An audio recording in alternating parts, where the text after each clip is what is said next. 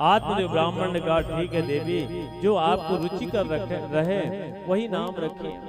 पुत्र का नाम रखा धुंधकारी कि गोकर्णा पंडितो ज्ञान धुंधकारी महाखला धुंधकारी तो महान खल होता है गोकर्ण महान पंडित होता है।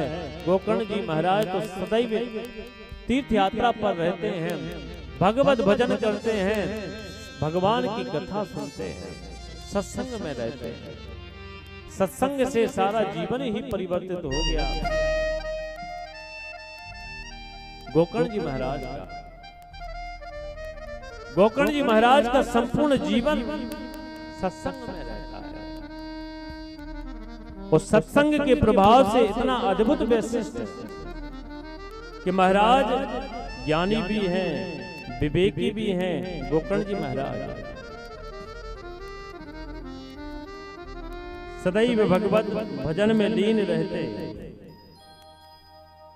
गोविंद का नाम जप करते भगवान की कथा सुनते हैं। सत्संग में रत रहते हैं। प्रेम से बोलो जय श्री राधा।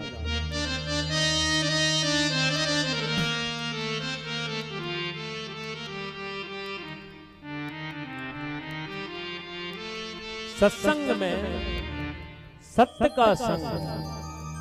हमेशा प्रभु के संग में ही रहते हैं गोकर्ण जी महाराज तो महान पंडित हुए, वो धुंधकारी महान खल होता है।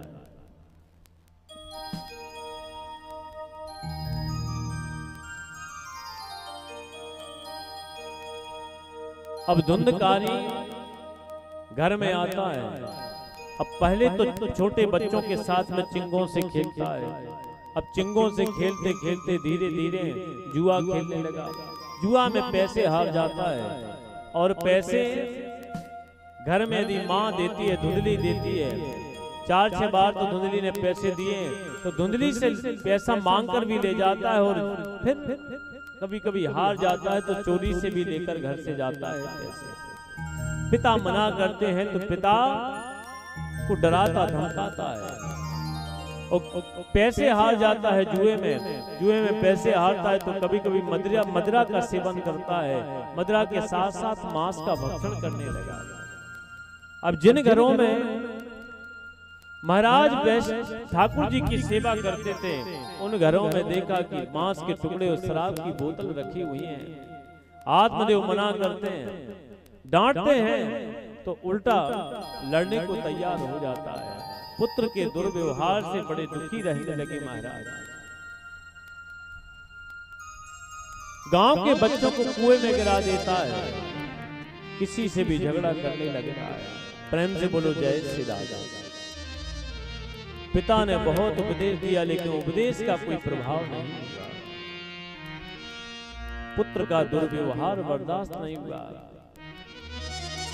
जब मारने की धमकी देने लगता है तो आत्मदेव निराश उदास अपने कक्ष में विराजमान थे कि न जाने ऐसे पुत्र से तो मैं बगैर पुत्र की अच्छा था। अरे ऐसा पुत्र तो होता ही नहीं तभी अच्छा था।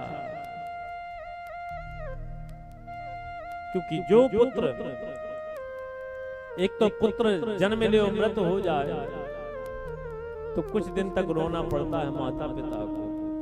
एक पुत्र वो होता है जो युवावस्था प्राप्त करके फिर मृत हो जाए तो भी रोना पड़ता है। लेकिन सबसे दुखप्रद स्थिति होती है यदि पुत्र कुपुत्र निकल जाए तो वो जीवन भर रुलाता है।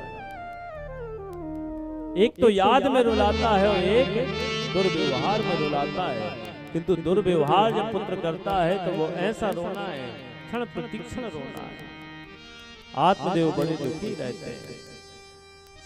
रात्रि का समय है, महाराज अपने कक्ष में बैठे हुए हैं, रुदन कर रहे हैं। सौभाग्य से अकस्मात गोकर्ण जी महाराज का पदार्पण हुआ। गोकर्ण जी महाराज आते हैं गोकर्ण जी महाराज ने पूछा, पिताजी, क्या बात है?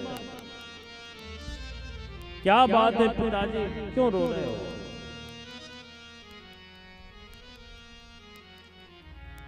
क्यों रुदन कर रहे हो? बात क्या है?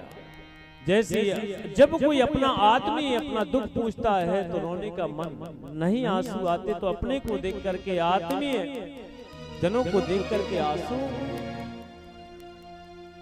गिरने ही लगते हैं। तुरंत लिपट कर रोने लगे आत्मदेव महाराज। क्या करूँ बेटा? तेरे भाई ने मेरा जीना हराम कर दिया है। जिन घरों में मैं ठाकुर जी की सेवा पूजा कर, किया करता था आज देखो वहाँ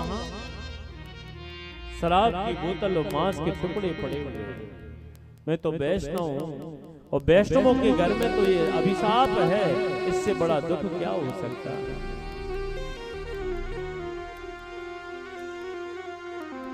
पिता यही मेरे दुख का कारण है।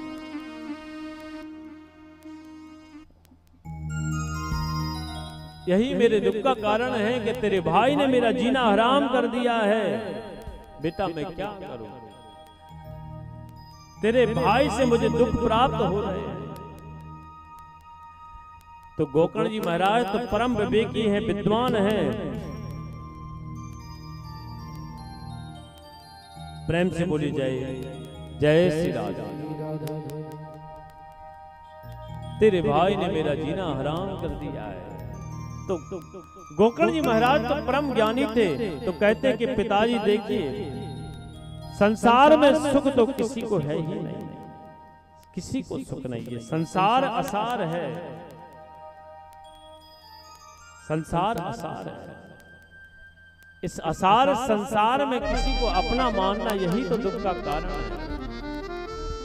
पिताजी, आपके दुख का कारण है स्नेह जिस प्रकार दीप जलता है। इसी प्रकार से स्नेह हाँ स्नेहवान व्यक्ति भी जुड़त रहता है। 24 घंटे जलता रहता है।